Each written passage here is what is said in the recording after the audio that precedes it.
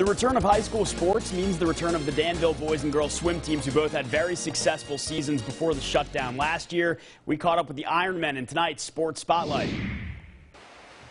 A very successful season cut short last year for the Danville boys and girls swim teams. The boys advanced to states while the girls repeated as district champs. But in Coach Danielle Stickland's second season at the helm, the focus now is more on getting as many meets in as possible. I think it's great for everyone. It's nice for me to have a schedule. It's nice for them to have the physical activity, the social aspect of it, the camaraderie.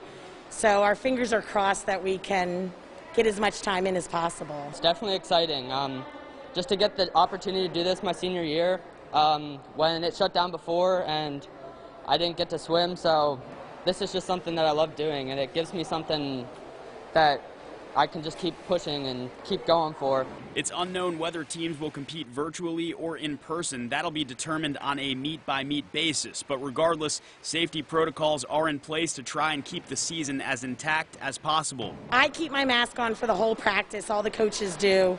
Um, the swimmers obviously can't when they're in the water, but they keep their mask nearby. We have lots of bleacher areas, so they set it nearby. If they need to get out and use the restroom at all, masks go on as soon as they're out of the pool. The swimmers are doing everything they can to avoid what happened last year. It's kind of disappointing, like knowing that you could compete and then just kind of being sent home because of COVID.